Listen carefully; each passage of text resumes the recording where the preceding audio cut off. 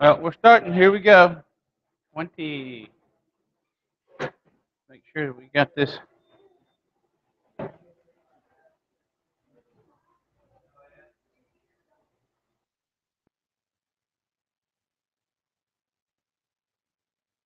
All right, here's your ligaments. You need to know these ligaments. You got an MCL. Keep pulling out.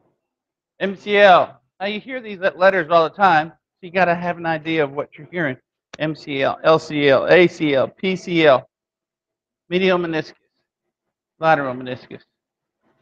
All right? Medial refers to what? Towards the, towards the center, that'll work, towards the midline. Lateral, away from the center, away from the midline. Posterior and the anterior. Well, here's the cool thing about an ACL and a PCL. They both have an anterior attachment and they both have a posterior attachment. So we got to figure out which one we're talking about. All right, and we have meniscus. That's those uh, funky little cartridge, uh, cartilages that we got. So, oh wow, you got it on there. I added this picture to here.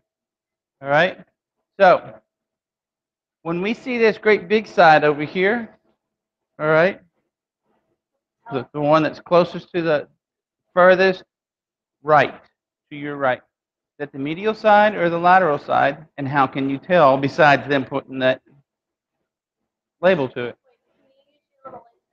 No, one laser won't work on that. It's over here on this side. This side, is that the medial side or the lateral side? And how can you tell?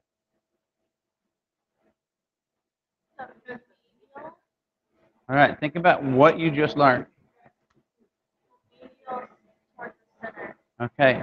We had two bones in the lower leg, right? What are they? Tibia and fibula. Where's the fibula? The back. The lateral side. On the lateral side. So when you look up there and you see that picture over here on the lateral side, right above the eye, that is the tibia, uh, the fibula. And so when you see the fibula, you know, okay, that's the lateral side. So how it all works together. So you can see that the medial collateral, which is in the middle on your right side, okay, on this side, The big one. it's huge, isn't it? But what about the one on the other side, the LCL, the lateral collateral? Yeah, it's like the size of your pinky, about that wide. The MCL is about the size of this. The other one's the size of that. Why would why? It's a huge difference. Why would that be? The medial goes out. Because medial has more stress. Yes. So how often do you get stresses to the lateral collateral? What's the unprotected side? The outside or the inside? Oh, the out, well, on on the ligament itself, yes, but the you have nothing past your la- as farther lateral. That's it. There's nothing there. You get hit by people, by cars, by dogs, by whatever. Right? So that in turn takes the force in. So the inside's got to be thicker than the outside because if I if I'm worrying about here, I've got all of this to protect that lateral collateral. Right? So when we got made, the physicist said, the engineer said, well, we need more on that side than on the other side. Okay, so lateral collateral connecting the femur to the tibia. What could be another name for that that you might hear? Something collateral ligament.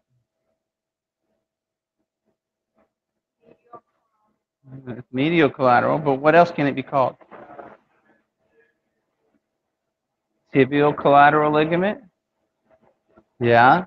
Now on the other side, what can that be called? If it's the on the lateral collateral, it's going to connect to the other bone. What is it? The fibula. So that's the fibular collateral ligament. Okay? Now, you see in the middle of this guy's knee or this this drawing? All right? Cruciate. What is we've heard that sort of something like that before, hadn't we? Cruciate. What else does it sound like?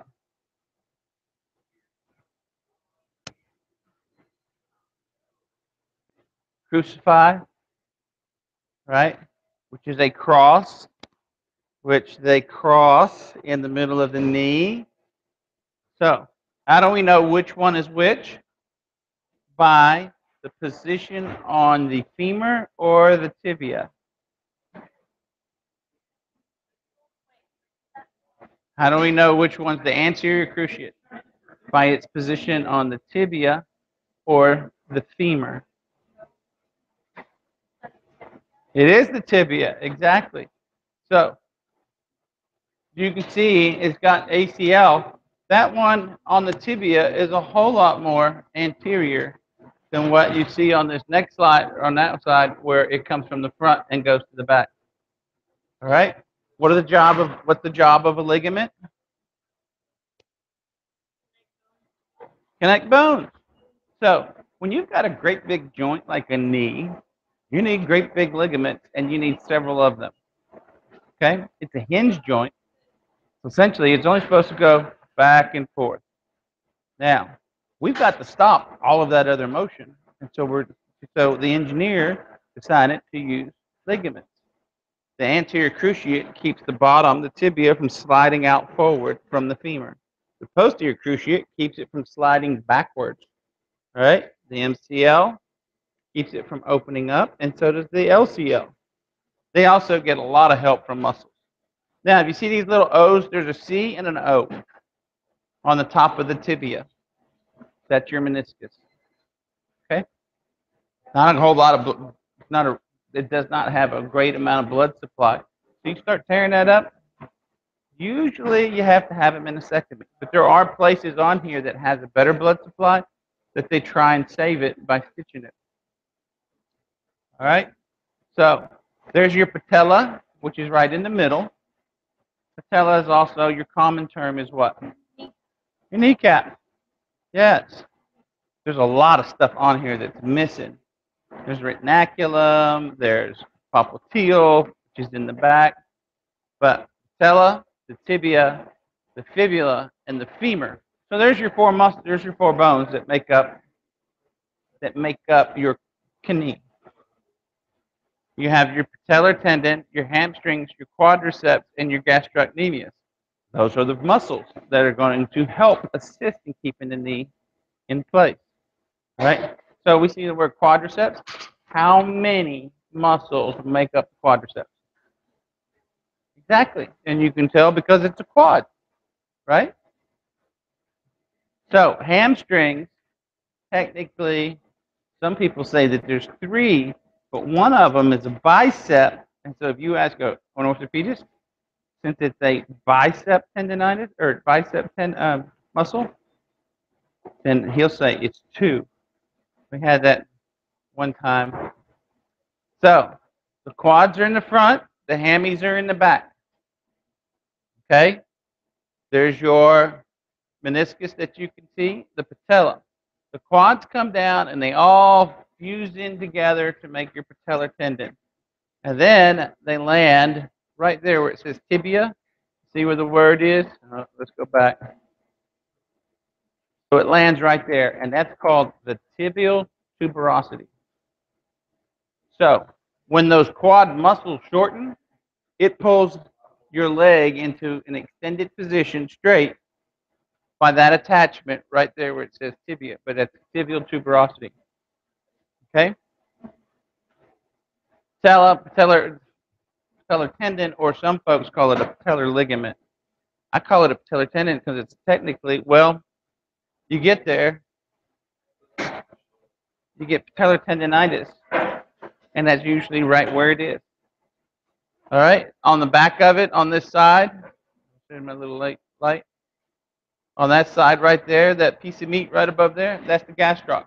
What are they? What's that also known as? Baby cow. A calf, exactly. So, Oh, that big like red part. yes, big thick. Yes, that is it. Okay. So you know that the calf, the calf muscle comes up and above the joint line. The hamstrings come below the joint line. So in the middle, there's the joint line. The one comes up, one comes down. So it's surrounding it. All right. It's patella. It's a sesamoid bone, which means it's more or less a floating bone. All right? It's the largest sesamoid bone in the body. Can you tell me where you find another sesamoid bone? We've already covered it last year. It's in the foot, yes. Where? Getting all excited? Where in the foot? That's not the brain. How about the ball of your feet? Underneath the, your big toe, the ball of your foot right there, you have another sesamoid bone. So, now, how does how do you get in trouble with the patella? You get in trouble with the patella by how it tracks. And when I say tracks, it means in that groove behind it. Okay, let's see if I've got another picture here. See how the femur has got one and then two condyles? It also comes in and makes a valley. And that valley is where the patella is going to sit. So however it tracks, it should stay in the middle of the valley. If it starts wanting to go to the east or to the west, what happens to the back of the patella? There's my femur. Here's my patella. If I'm in the middle, I'm going great. What happens if I'm Yes, it rubs it. It starts hitting the femur. That's not good. Because on the back of the patella, we have a really thin hyaline cartilage. And that hyaline cartilage um, doesn't need to be tore up. So, depends upon the the quads and the patellar tendon, the depth of, and the depth of the femoral condyle, the shape of the patella. So, if you'll see the anterior, which is the front, so if I'm looking at you and I say, okay, we're going to pull the skin off around your patella, you're going to see that. Now, if we cut your patellar tendon and look underneath the patella, underneath it, it's got the, the articular surface. Well, bone can be pretty rough, which is the outside of it, but underneath it, where it comes next to the, the bones in your knee, it's going to have that cartilage on it. And so it's all shiny and smooth. It's nine to 10 times slipperier than ice. So think about going ice skating, you know, or just walking on ice. That's not even close to what that hyaline cartilage is going to be under your patella. So here's just the normal patella where it just goes up and down. All right, we get one that sublux. All right, we've seen this before. I know you all have seen somebody out here that had their patella fall off, right, or get dislocated, or even subluxed. We had the one boy that moved in last year. He had a problem with his kneecaps, right? Remember him? Okay. Uh, let's see here. Who, oh, who, oh, who. All right. Sarah, since you're sitting there, all right, this is the one thing I want you all to do, is I want you to take your leg, have it, relax. There's your patella. All right? So go ahead and feel your patella, make it move. All right? You can't do it unless your foot. No, because your foot's not on the ground. Your quads are holding it still if you're holding your leg up. So, okay. So if we want, remember we talked about subluxations a long time ago. Sublux is a partial dislocation. So, if on the bottom of the patella it's got a groove or a ridge in it to fit in the groove, what happens then if it bumps over? Now the now the the patella is going to be way on the outside and it's sitting over here. It looks funny. Right? The very first time I ever saw a dislocated patella, okay, was kid came running into the training room and he goes, Mr. Davis, somebody, he popped his patella out. I said, Oh, you're kidding me, right? He goes, No, he popped his patella out. Some football player years ago put his knee in a precarious position. He says, if you ever want to hurt somebody, you just take this. And he pushed really hard and he dislocated his own patella. Yeah. Yeah. Uh, it wasn't here, but yeah. That's that's boys for you. You know they've got to play around. It feels a little weird when you go out that far, doesn't it? So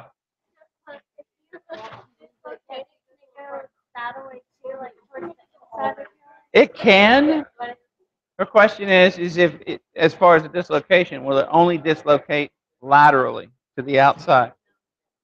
It can come this way, but 99 probably percent of the time it's going out here. These muscles on the outside are stronger than this one here for the most part, and anatomically it's just easier for that to pull out this way. So, what do you do? What do you do as far as student trainers? Come get us? Yes. Put ice on it. Worse, well, it's not hard. It's not hard to put it back in. You just think about anatomy. Okay, remember, if you got a dislocated shoulder, they're muscle guarding and holding the shoulder out. Well, that's the same thing here. So if we get them to, to relax, all right, come and lay all the way down. Now, how do we stretch quads? All right, stretch a quad would be to bend and then extend the hip, right? That's gonna that's gonna stretch your quads. If your hip is extended and your knee is bent, it's pulling the quads. It's pulling the quads as much as it can. So we got to do the opposite. We got to extend the knee and flex. Because now, as long as she relaxes, all you do is you just take your finger, go underneath it, and it'll just jump right over. Now, that's all it is to do. But uh, do I want you to do that? Absolutely not. Okay, so what if you're like standing up and they get your hand and it comes out of place? Like, do you have them stand there? They'll fall down. Although I will tell, I will tell, I'll tell you this though, is that if they are standing up, a lot of times, you know, just as a as a reaction,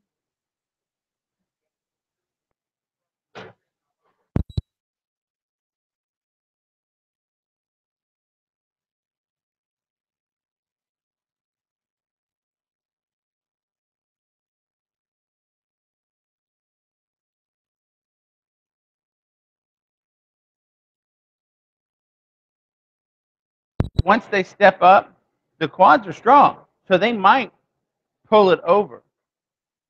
Okay. And if it, yeah, it will hurt. All right. There was one guy that, uh, you know, I saw the one dude do it to himself.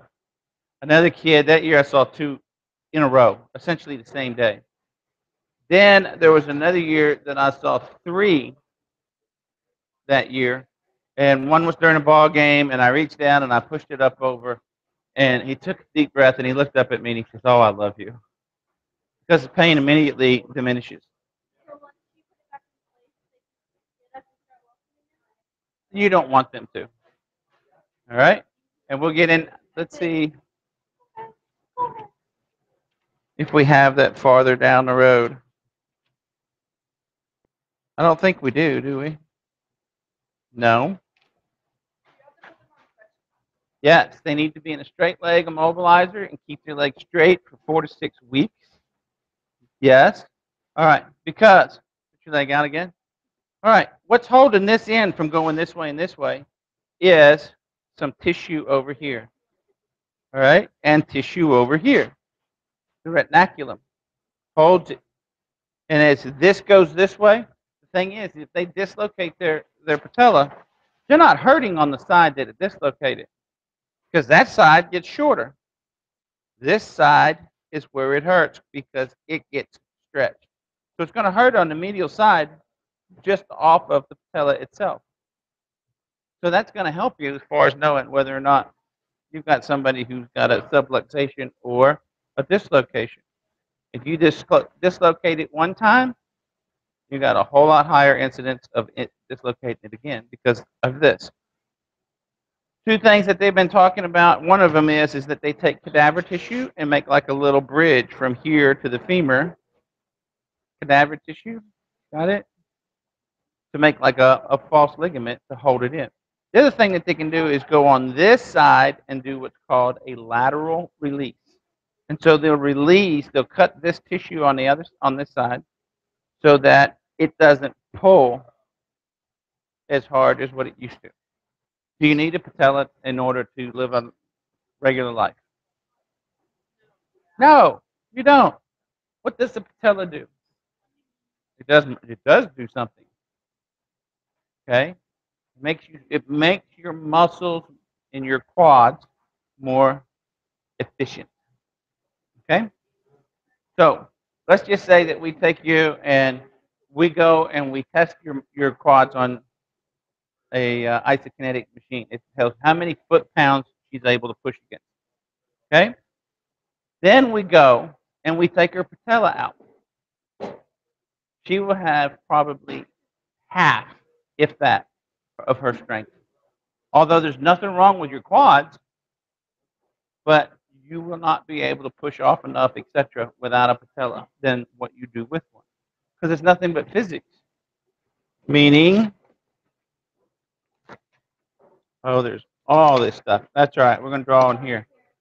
So, if I've got a pulley right here and a string, and it comes straight down, right? If I pull the string, is the pulley going to help? Yeah, it, it, it'll help a little bit. But what if I take the pulley and extend it a little bit, and now it comes this way, and I'm trying to get this to come up? It's really going to help now because I've gone farther than what the axis is. And so that's what the patella does, is it makes, right, but we're connecting, we're only connecting to here. So if I've got this here and it comes straight to the top and then come over, right? You try and pull that, it eventually will come up. But you're going to have to use a whole lot more strength in order to bring it up. If I go out farther and give it a head start, all right, to where now it can we can get it to start going this way, it's going to come up a whole lot easier. So there. So like, moving it out is like putting your patella back in place. No, Without one of I'm just saying that it, that's what your patella is. That's the job of the patella, is to make a fulcrum. Is to make a fulcrum. Putting it back in place, you're done, except for X-rays, because you want to get X-rays to make sure you haven't chipped off a piece of the bone of the patella or the femur as it jumps. Now, it's going to be mad. So what? So when you put it back in place, you do it like really fast.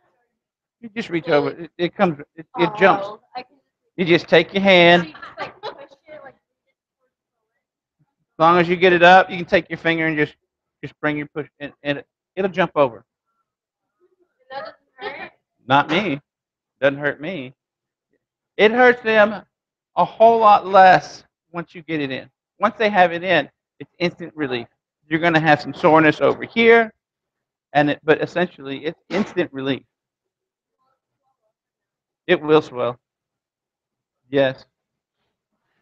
I don't think y'all are old enough, but we had the redheaded boy that did it all the time. Yeah, you're not old enough. All right. So let's talk about your meniscus. People call it cartilage. All right. You have a C shape, and then, if you'll notice, there's an O shape. Now let's go back over here to that slot, that picture that had that in there. You can see one of them's a C shape. Right? So the C shape is your lateral meniscus. It's like a racetrack. You know, the racetrack's banked out here. It helps hold the femur in place. Okay? So you've got a C-shaped fibrocartilage. is located on the tibia on the medial side. The O-shape located on the lateral aspect of the tibia. And they both limit movement and they serve as a cushion for a knee joint. I You halfway tore your meniscus. Did you have surgery? No, I did. Uh, and how old were you at the time? And at eighth grade, they might just say, we're going to leave this alone. So here you go with how these tears are. Okay? I can't see that far, so I have to get closer. All right. So this first one, where it's got this itty bitty circle, it's a itty bitty tear. Okay?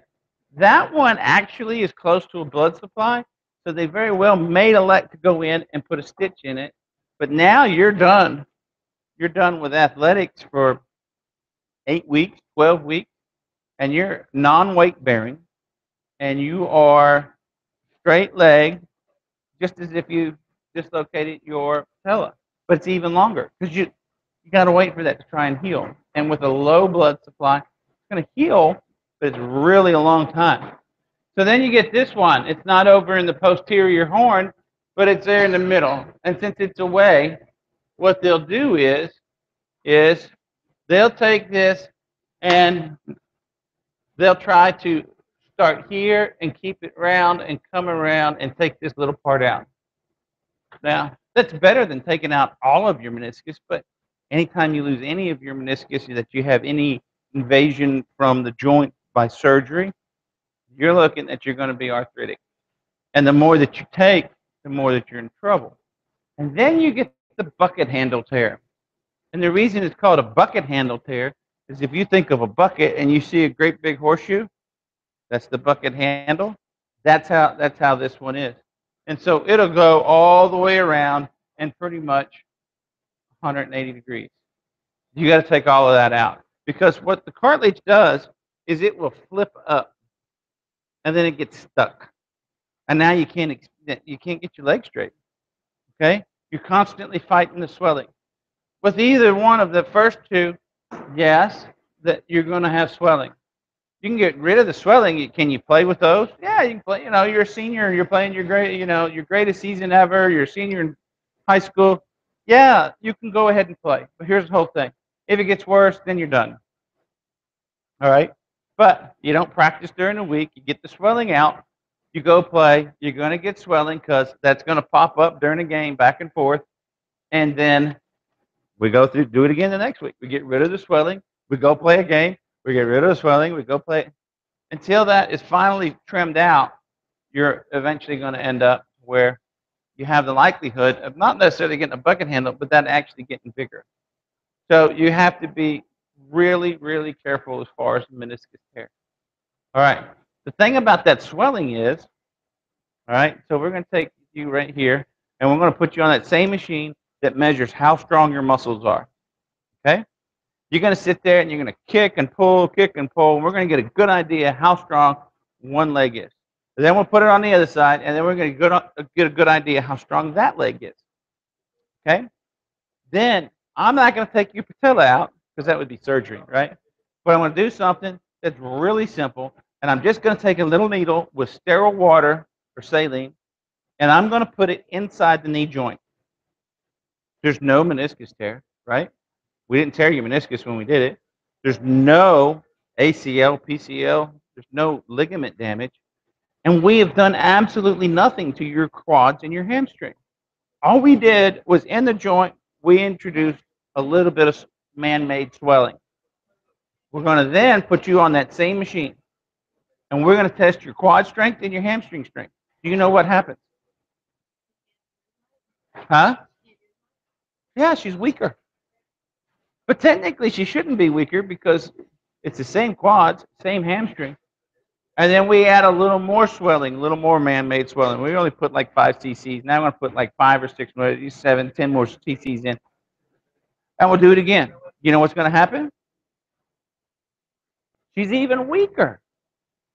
Why is she getting weaker? Because the body starts to shut down when it has swelling in the joint because it knows that there, there's something wrong.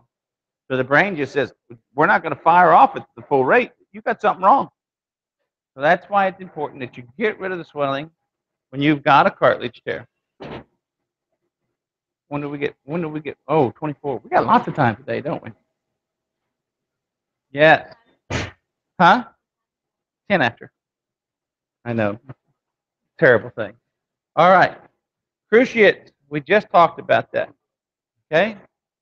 You put somebody on a cross, they are, come on, crucified. Happened on Good Friday.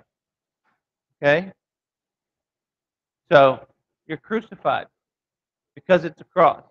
Well, since it's a cross, they have the anterior and posterior cruciate. And they do cross inside the middle of your knee. I can't reach in there and touch them, not without having portals and actually pulling on it through surgery. Okay? We don't want that. Cruciates are super, super important.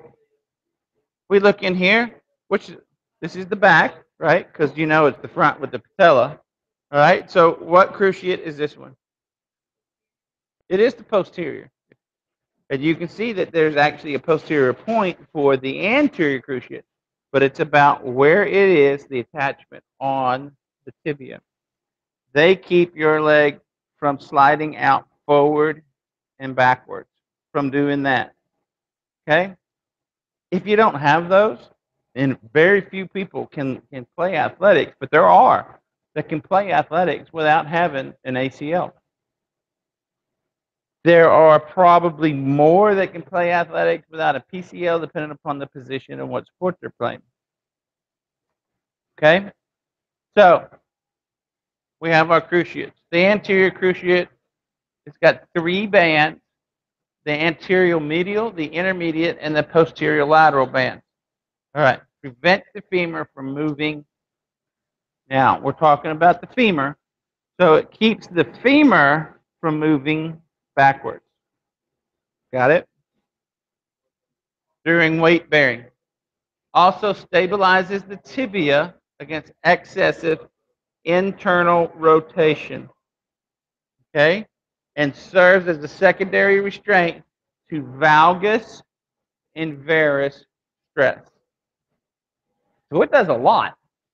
It helps keep this from happening, it helps keep that from happening, and it helps keep internal rotation from happening. That's a pretty main ligament. All right? So, the posterior. It's got uh, some of the posterior cruciate ligament is, is taut. You know what taut is? Not that you were taught how to do math, but it's tight through the entire uh, range of motion. Acts as a drag during the gliding phase of motion and resists internal rotation. There we go again. Internal rotation. So you can see how important both of them are. They work together. In general, the posterior cruciate ligaments prevent hyperextension of the knee and the femur sliding forward. So, where do you see these guys? Who who ends up with a PCL tear?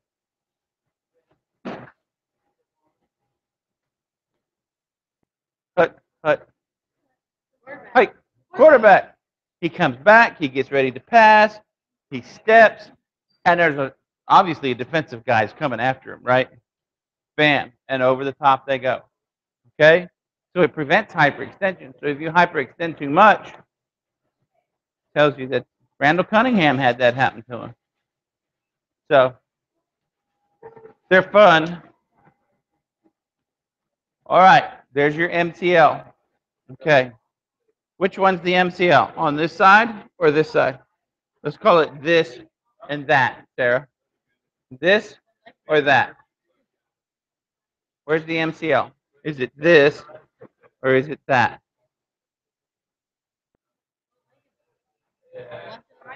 You tell me. You should know. Look at the anatomy. Is it? Why do you think it's a left leg? Because the outside this. Oh, right leg. Which one? You just said it was left. Now you're telling me it's right? It's Right, I mean, maybe it's the right, it's the right leg. It is a right leg. Oh, yeah. All you need to know is this, right? So, uh-huh. here it is. There's your MCL. All right? They're actually a little thicker than what this, this one is on this model. All right? So, the MCL attaches to the joint above the medial epicondyle, so it attaches way up here on the femur, and below on the tibia. That's a pretty big attachment point, don't you think? Yeah. Well, it does a lot, so it needs to be screwed down, right?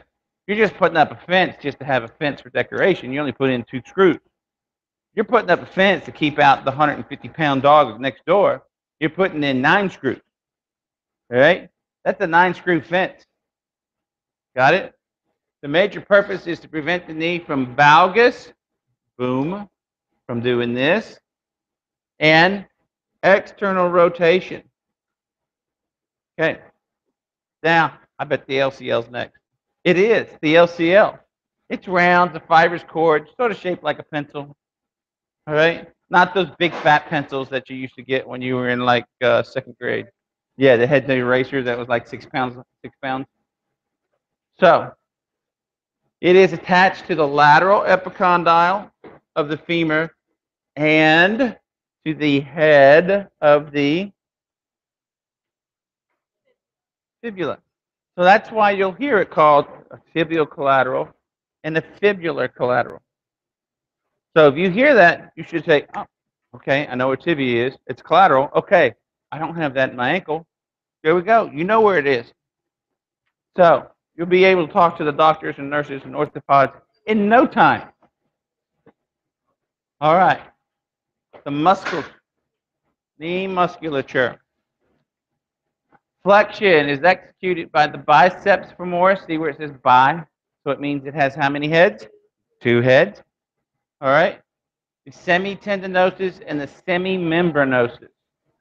So not only you're you going to have to write them down, we're going to have an oral part to where you have to say what the quads are. So sweet, wouldn't it? So the semitendinosus and semimembranosus, the gracilis, the gastrocnemius, the popliteus, and plantaris muscles.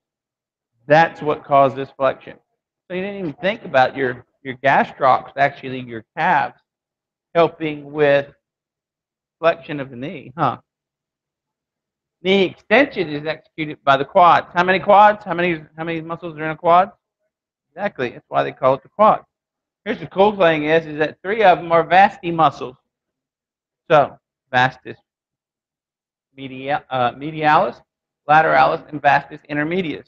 So it tells you right there where they are. One's on the lateral, one's medial, and one is right in between them. All right? I don't think I have that on there. Where's the other one? Huh. The other one's the rectus femoris. So you need to write that down. Rectus femoris. I am right, aren't I? So,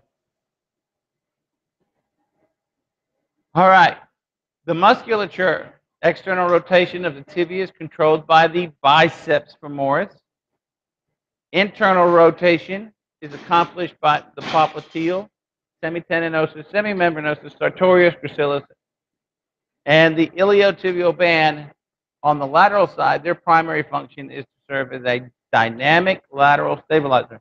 What's the iliotibial band? You hear that in there. Don't worry about those first things. I'm not going. I'm not going to actually test you on the first two. But the IT, mm, I just told you.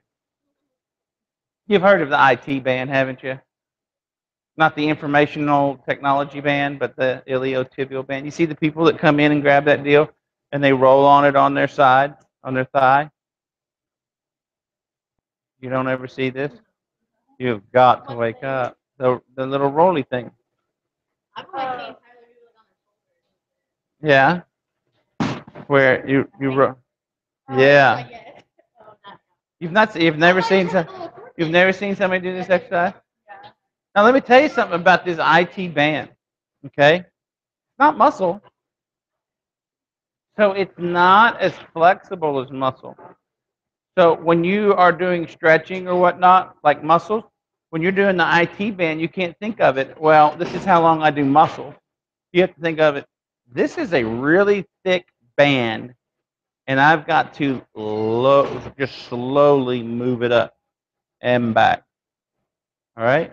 And it's not a 10 second stretch like a muscle. It's a 5 to 10 minute process. It's got it's just that much thicker than what you find in musculature. All right. I won't wear you out. We will stop right there. Tomorrow we'll talk about bursa. But tomorrow we will also have we will also have a quiz. Okay? And that quiz is going to be That looks like a pretty good quiz right there. That quiz will be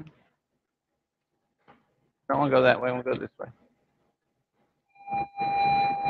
That right there. Name the name the bones and the major muscle groups.